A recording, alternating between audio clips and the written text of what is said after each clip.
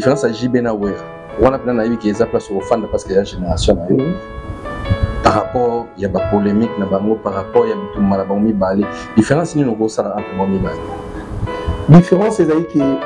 euh, Wera nsolo aza propulseur et puis JB aza ye moko nanu abanda kolakisa nano ye moko epi détermination azalaki nango e aza moto oyo abandaki koincarne mpenza baartiste ebele mpe ozwi bavejosar na kati okokuta jb obina okokuta eh, papa wemba na kati donc koyemba mm. euh, et puis na masolo ya basap ezangi na kati donc euh, epai ya weronson c'est beaucoup plus encadrement mm. et puis kobimisa bato donc fali na ferre soko ye na différence na bango euh, ferre aza artiste moko aza chote par rapport à baprojet na ye mm. mais aza na beaucoup plus koperfectionne musique aza na eloko ya liboso eza nano mm. kotombola lokumu ya miziki tandis que soki oye pa fali aza kotombola ye moko ke miziki na ye ah bon? soki otali na ndenge ya bahonneur okokuta ke honneur mingi ezalaka beaucoup plus ye fali ke miziki na ye na ndenge nini donc c'est à dire que euh, même soki eza ke na niveau ya, ya urm soki otali miziki abetaki olabeta miziki oyo eza rumba ye akotala ke ye rumba etali ete ye akotala par rapport ya honneur na ye ayambaki ntango mosusu dadju donc ye akotala beaucoup plus honneur na ye akoloba ke ye fale na niveau likolo tandis que fere aotala relation aotala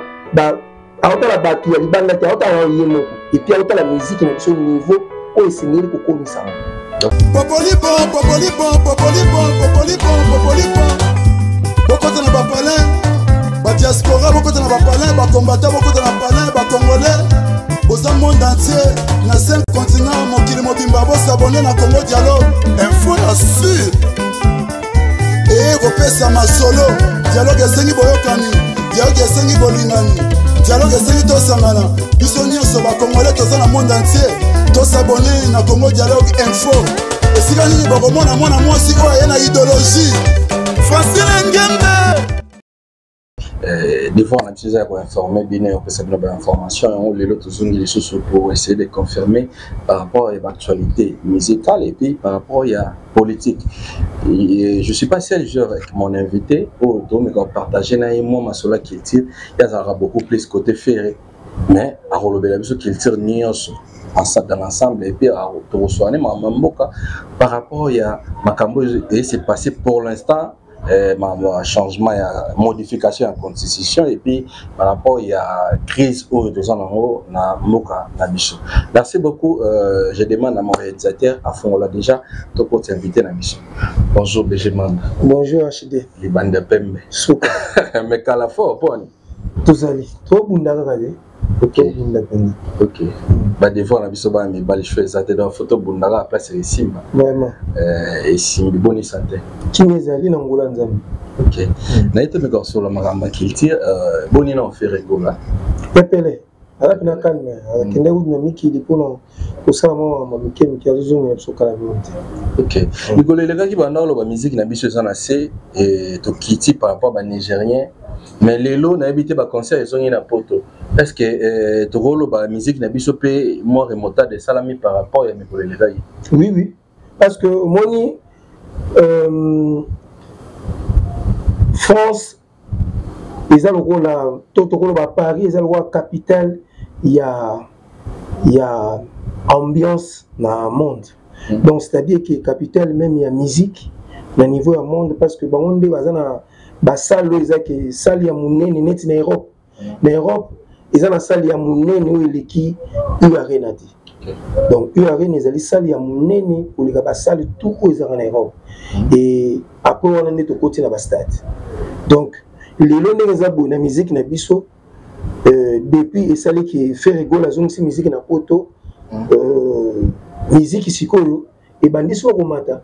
parce que omoni baartiste na biso du fait ke baza kopreste na basale mythique hmm. ya libanda esalaka ke tombolaka miziki na biso parce que wana ezomema miziki na bino na niveau moko ya likolo hmm. ozwi neti par exemple periode tozalaka tozala na abeti masikini babeta bazenite toza na ba euh, bapongo love babeta sale oyo ya belgique wana arena oyo ya belgique ung je crois donc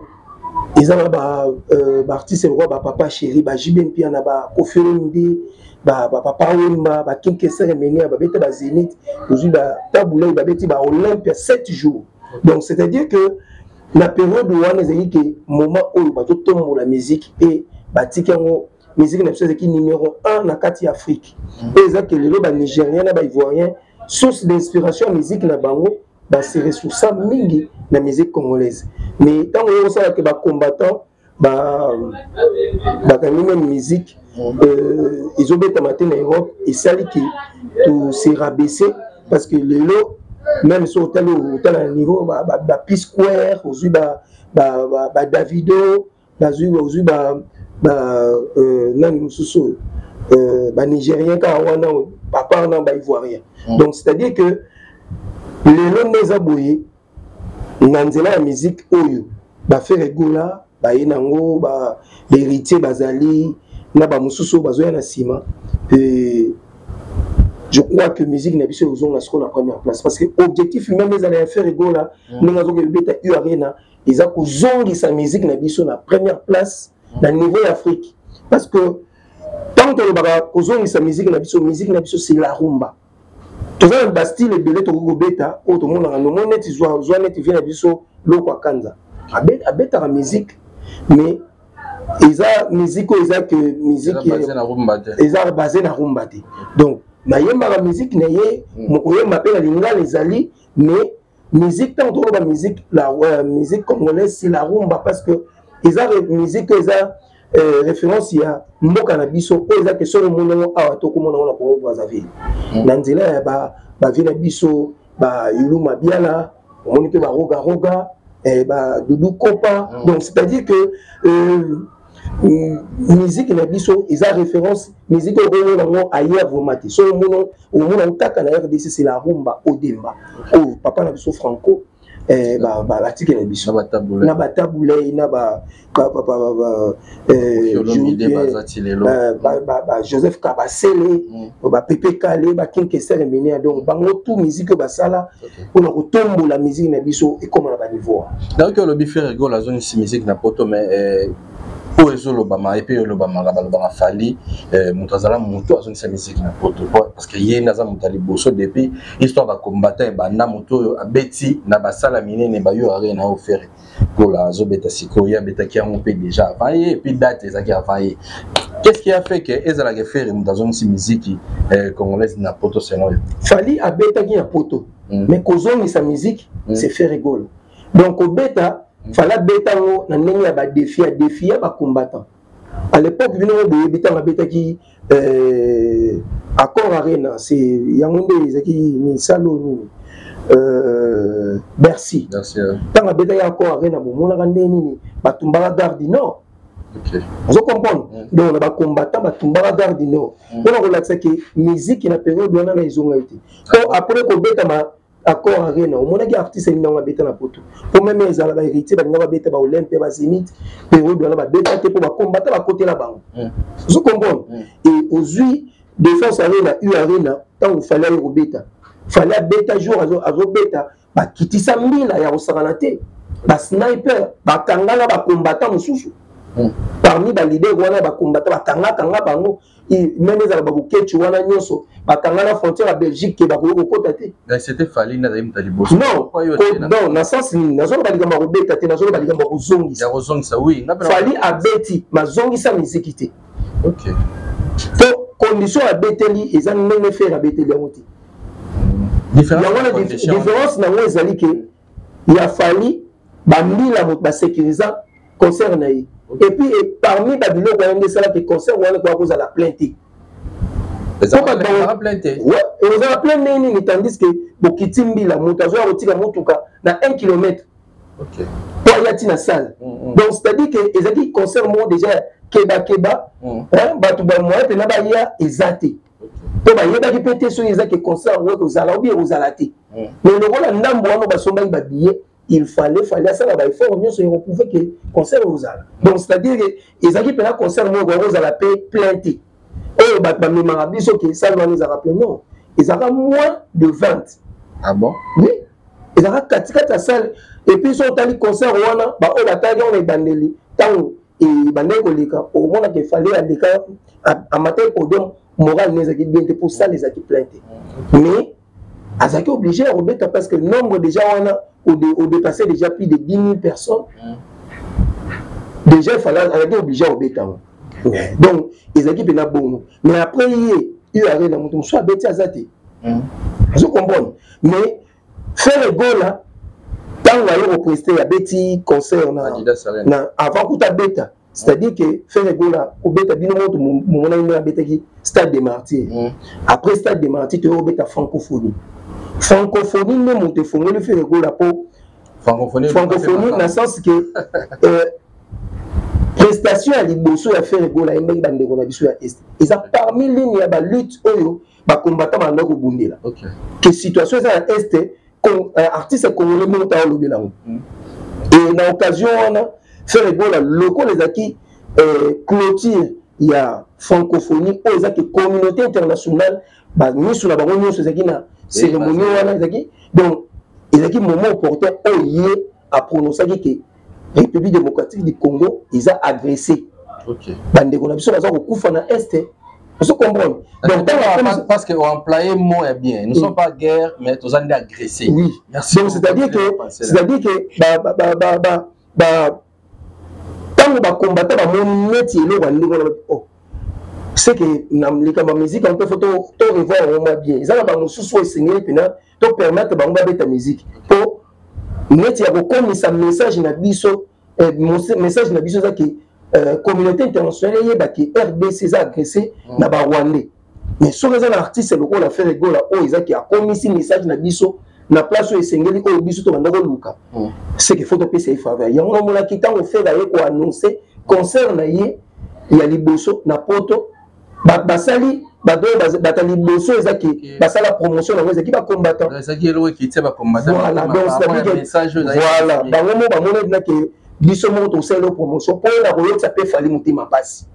ozo comprendre mpo fali adefiyaki bango bango mpe na tour na bango badefie mpe fali babiki wi feri nde motu so otali meme na baémission oyo esalama na poto bakombata baolinga babiki wi miziki ezongi na poto mm. apartir ya fere gola po avant fere gola miziki ebanda obetama na poto te seke koya macron a mpe bakombata bazalaki mpe desi voilà surtout neti eloko wana esala mpe mabe mm. ndenge ke fali akompagnaki ti na quartier na ye oyo abotama na veni na bango mm. eh, na sundi eh, meme eloko wana meme bandeko ya est yango moni eza parmi babiloko esalaki fale ake na goma bakomi ntina mpo ya kobamba ye milangi parce que baomona moto aza kosoutenir bato baza koboma biso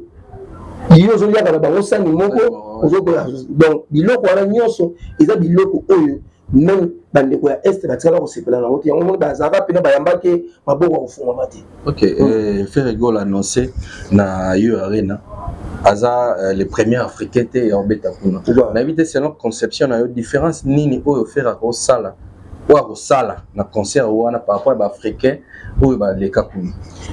baconcert oyo différence ya liboso eza kaka ke mm. rumba nde moto eyemba na wana mbala liboso rumba eyembama kuna okay. ouais. parce que fali aza artiste abima na rumba mabetaka musique ya rumba te ntango tolobaka rumba c'est-à-dire otali euh, album ya artiste mm. neti ya ferigola à 98 bien 90 pourcent totyaka 90 pourcent ayembaka oyo ezali rumba mm. mais fali so otali euh, à, 80, à 60 pourcent bien 70 pourcent ayembaka musique oyo eza musique ya libanda 40 pourcent azobenda barumba donc eza déjà différence ya koloba ke meme kuna soki otali na sale wana abeta mpenza barumba te abeta banzembo na ye eza ki eh, ayemba na ba asala mingi style ya libanda ozo comprendre donc c'est à dire que fere egola azali premier artiste rumbiste oyo azoya kobeta na sale wana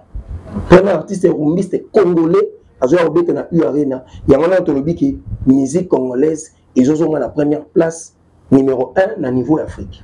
ah, ok ah. merci beaucoup mpona éclaircissement place question na ngai parce que tokomomona mwa polémique oyo esalaki lokola mwa kokita eh, tomoni yango ekomi ozonga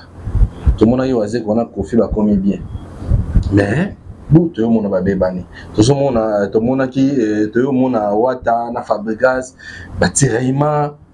malgré euh, même si lelo même si lelo JB na Wera bafanda kimia nayebi te place ya polemique na musique to na culture na biso euh, e, ezalaka na place ese eza na place ezalaka na place ok oui polemique il faut ezalaka soki polemique eza te hmm. e, seke tobeta masolo mosusu ozo comprendre omonaka meme soki totali bakati américain pourquoi bacreaka bashow ba hmm. c'est à dire omona moto bazalaki ne bien meme abalukeli ye mpo na kocree show ntango bacree show wana ezopousse bato lobi baya kotala su bakomba mm. ozo comprendre mm. mwa polémique wana ezalaka bien mais sauf que ekoki kokóma te na niveau ya kotouchaka bafamille ya kotouchaka bapersone wana nde ezokóma mabe mm. ozo comprendre donc polémique eya ozala ndenge ya miziki yo olobi ye aleki ye ye alobi ye aleki c'est comme ça oyo eza ke motu na motu na niveau na ye azoluka aperfectionne musique mpo aleka baninga ozo comprendre ezosala na avantage ya bino lobi ya travaille oyo eza lokola neti nde tomonaki fali abetaki salo wana mm. ye atondisaki te me toye bomoni bofera ye abeti salo wana atondisi yango ndenge moko mpe ezali ya bajibeti ozo comprendre mm. oyo babetaki zenit eh, abeti double zenit eh, eh, fe jibe abetaki zenit moko oyo abeti yango double ozo comprendre donc c'est à dire que eza na biloko moko ya ndenge wana mm. donc eza na biloko oyo ezosenga eza concurrence moko loyale oyo ezopermettre ke moto na moto aperfectionne miziki na ye mpo na lokumu ya, ya culture ya congo okay. eh, mais olio ezalaka ke ekomi na niveau ya kofingaka bamama oyo baobeta miziki te mm. ya koinsulte bien ya koluka ke kotyela bato bakoka jambe mm. eza susu wana eza important te donc avantage eza ezo aide mm. eh, adversaire mosusu to collègue mosusu aperfectionne mosala na ye voilà. ce que des avantages ezali des avantages ezalaka bon beaucoup plus omoni tout au début moto azalaka eta mosusu aza na ebandeli mm. ebandeli ya moto ezalaka toujours faible ozo comprendre performance nde yango nde ezaki objectif moto azolinga atteindre donc tokoki kolobela badesavantage na yango te mm. parce que des avantages ezalaka beaucoup plus au début ntango okomi koperfectionne yango nde eza oyo biso eza objectif moto azolinga atteindre mm. eza ndenge moko na fere egola eh, perfection na ye azoluka ki a atteindre oyo tolobaka ki capitaine de l'équipe azomema rumba jusqu'au bon port donc azolinga atteindre musique na niveau moko oyo esengeli oyo eza ke bagrand kale batika bapepe kale bafranco batika bapemba papa wemba ya kinkesa ebele niveau batikela musique ezosenga mpe ke génération oyo oyo fere gola tozobenga aye koressuscite musique congolaise kosala ke akomisa yango jusqu'au bon port okay. eh. na musique ya kala oyo ba luambo ba, ba tabuley ba king kester babeta na bawera na miziki ya lelo bafali na bafere bazobeta eh, mi, hum, miziki nini eh, génération nini oyo ezorepresente miziki congolaise libanda kitoko makasi bon génération nyonso erepresentant omoni neti par exemple nga nalobaka eza ndenge moko te parce que au début pourquoi tobengaka kale jeff père de la musique congolaise parce aza premier artiste oyo akotisa orchestration na musique congolaise premier artiste oyo akotisa musique na studio c'est kale jeff joseph kabasele ocomprendre donc yango babengaki père de la musique congolaise e bafranco baza bato oyo ba perfectionne musique babeta basale oyo ezaki na poto sale mendele ozwi babeti masikini bazeniti déjà na l'époque ba 1981 ozo comprendre donc baepoke wana déjà kobeta basale wana ezali kaka communauté congolaise te mingi ezalaki mindele ozo comprendre lelo meme nde tozoloba miziki na biso toperfectionne yango mai so totali na ndenge ya publike hmm. miziki ezoperfectionne te to so otali na ndenge ya bafranco na à l'époque baoki ebeta na poto mingi ezali communauté ya mindele ozo comprendre e lelo mingi eyokala bacommunauté africain ou bien bacongolais donc différence eza mpenza wana donc eh, oyo eza que euh, baartiste na biso il faut bareconnaitre yango omoni ntango na ntango na otoloba polémique eza bien mpo na baartiste na biso mpo moto na moto aperfectionne musique mais à l'époque par rapport ya communauté na genre ya musique po polémique mpe ezalaka nango wana franco na na nani na tabulai bazalaka na guerre mais un moment donné baye oyemba nzembo bango nyonso na na bami malange na bami malange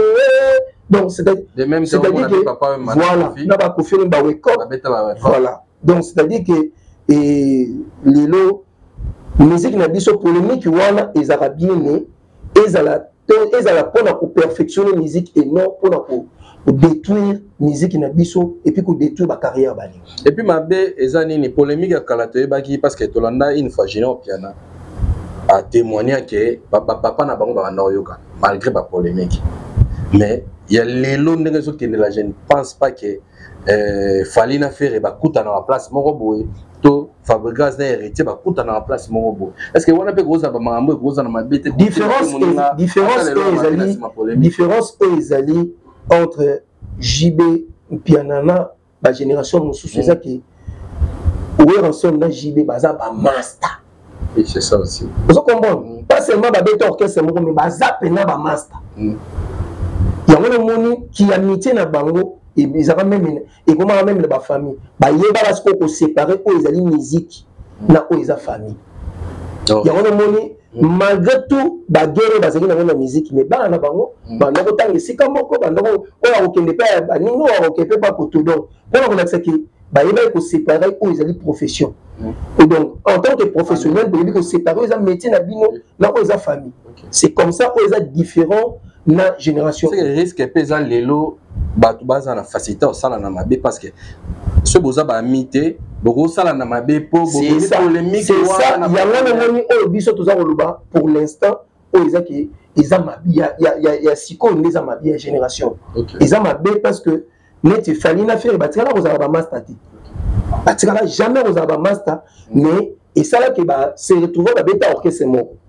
epai ya kofelomide mm. mais kozala bamasta bazala bamasta ah, te moni différence na bango déjà eza déjà ya moi merci beaucoup en tout cas tokomi kochete mpo tokota na deuxième point mais tozala mwa réplique na biso moko totie na émission rubrique wana ezaka différence eh, mais avant tokota na rubrique wana mm. nakoyebisa na bato nyonso le 26 avril 2024 mm. euh, feregola akobeta na na u arena baoyo na basombi babillet te en tout cas bosomba babillet mais c'est gimeda yo moto oyebisaki nga kenda nosombi billet te fosomba babillet epuis kuna ezosenga concert wana esenga te ke oya yo moko fo esenga tuna boya en famille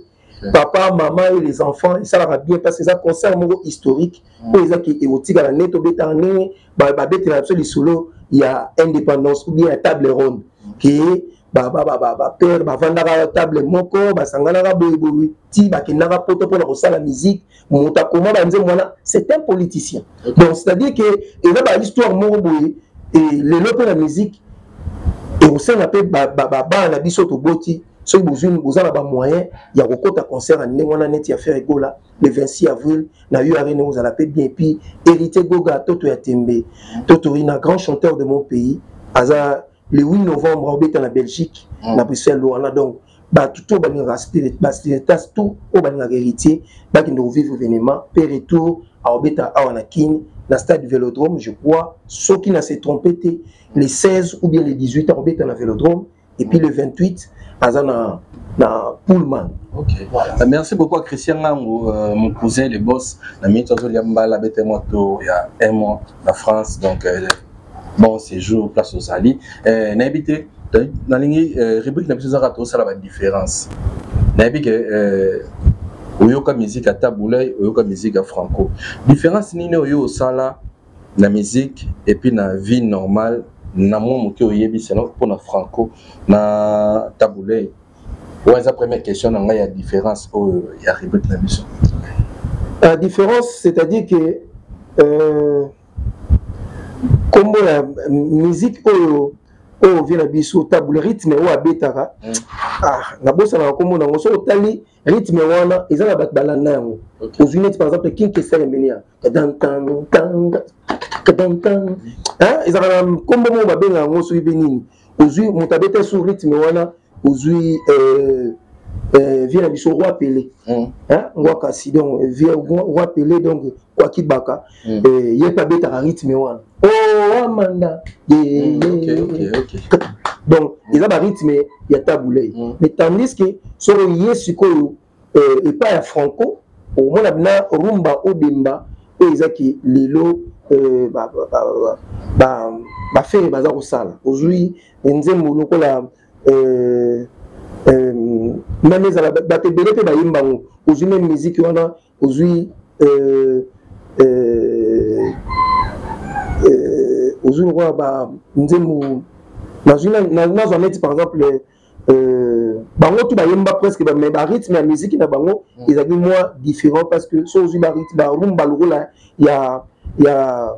ya vie na biso miti système madilu osentir wana mpenza odemba mm. eh, donc musique mpena ozwi bajoski kiambukuta se odemba donc mm. bato to la majorité oyo bawuta mpenza balingi wana meme ezala bapapa wemba rumba meme ozwi ozwi fait de l'amour hmm. c'est odemba tadadada tadadada tadadada donc osanti mpe ke yala dandan miziki wana c'est odemba ok eh. bon différence na bango mibale eza nini différence na bango par rapport à bastyle par rapport à bastyle yeah. alors différence ya wemba na Koffi Olomide nazomba ka euh, différence par rapport à musique te mais par rapport même ya comportement par rapport ya ya nyonso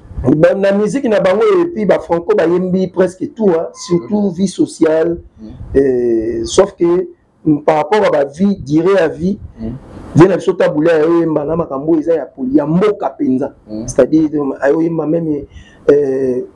mabele ya congo hein? Mm. congo eza na barichesse ebele donc oyo eza ke bafranco na ntango asali mayemba oyo ezali société okay. ayemba oyo eza ke euh, débrouillez vous hein? donc ozomona différence ya mwa banzembo euh, kote wana mpo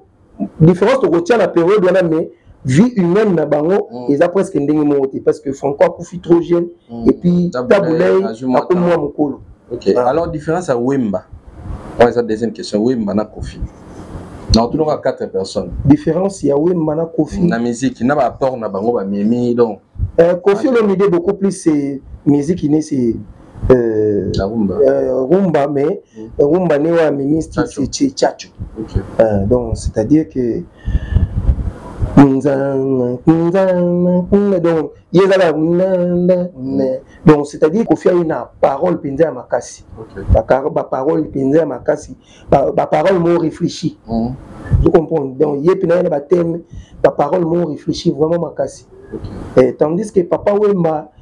c'est 100% eh, aye ye eza mpena ke interprétation et puis composition na style ya koyemba c'est-à-dire ke azalaki na tendance te style nyonso koyela ye akoyemba mpo ayemba akotisa meme musique na biso na niveau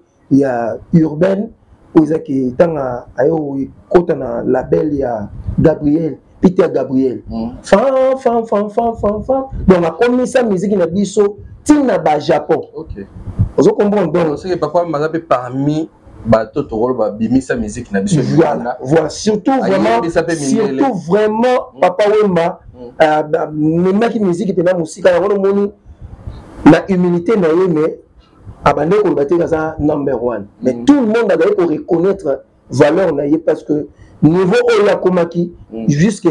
jusqu'à maintenant nanu artiste moko takomi wana okay. voilà euh, différence tokomi na troisième case troisième différence différence ya jb na wera wana mpena nayebi ke eza place okofanda parce que ya génération na yo mm. par rapport ya bapolémique na bango par rapport ya bitumba na bango mibale différence nini okosala entre bango mibale différence ezali ke euh, weranson aza propulseur et puis jb mm. aza ye moko nanu abanda kolakisa nanu ye moko mm. et puis détermination azalaki nango e aza moto oyo abandaki koincarne mpenza baartiste ebele mpe ozwi bavejosar na kati okokuta jb obina okokuta euh, papa wemba na kati donc koyemba mm. euh, epuis na masolo ya basap ezangi na kati okay. donc euh, epai ya weronson c'est beaucoup plus encadrement mm. epuis kobimisa bato okay. euh. euh, dernière question dernière différence entre fali na ferre bon fali na ferre soko ye na différence na bango euh, ferre aza artiste moko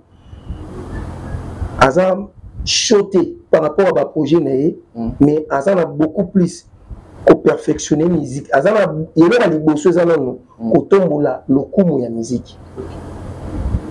tandis ke soki oye pa fali aza kotombola ye moko ke miziki na ye ah bon? soki otali na ndenge ya bahonneur okay. okutaki honneur mingi ezalaka beaucoup plus ye fali que musique na ye okay. na ndenge nini donc c'est à dire que euh,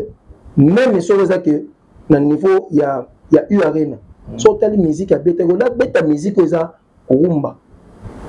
ye akotala ke e, ye rumba etali ete ye akotala par rapport ya honneur na ye ayambaki ntango mosusu euh,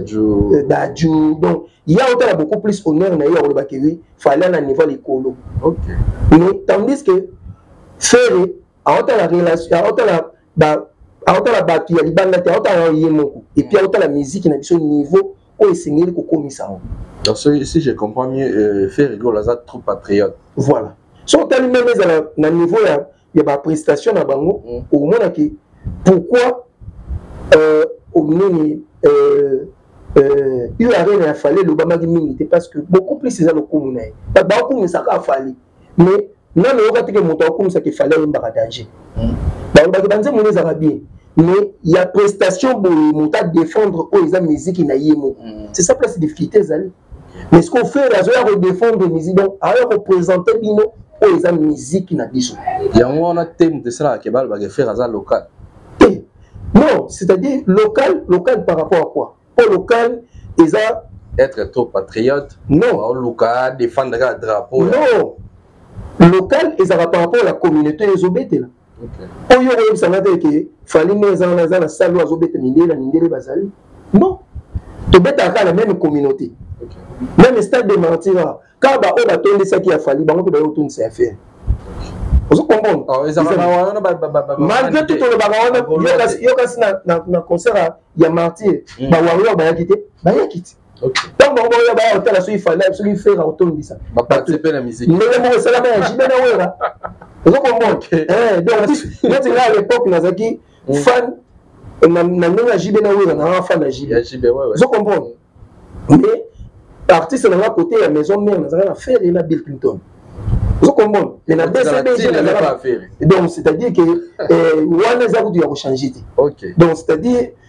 eza ndenge moko na baepoke wana nyonso mm. ngai nakota concert awera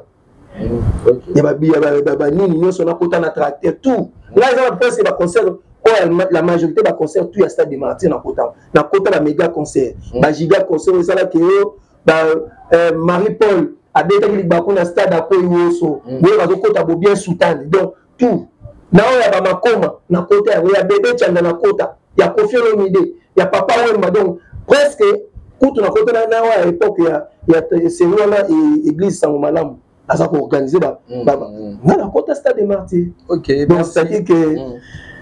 on est vraiment là tozali mpena bato moko tolukaka kodécouvrir Okay, okay. yango mpe esala yo lelo oza na notion voilà. wana ntango naye okutana sikoyo na vie na biso zacle esali mpena ke mm. nafongola susu mpo ye apesaka mpena bahorizon mpena mosusu mm. ya kotalela miziki okay. ya kotalela miziki miziki eza boye apartir na ye nde na comprendre mpo yango eza wana ti ozali na euh, connaissance moko pele mele eza na maison mm. mais avec ye kozala nazala nde nakoma mona nazwi na maîtrise ya makambo yango epuis otyango en ordre c'est comme ça merci beaucoup bgmana mpona disponibilité eh, na senka na bainternet nyonso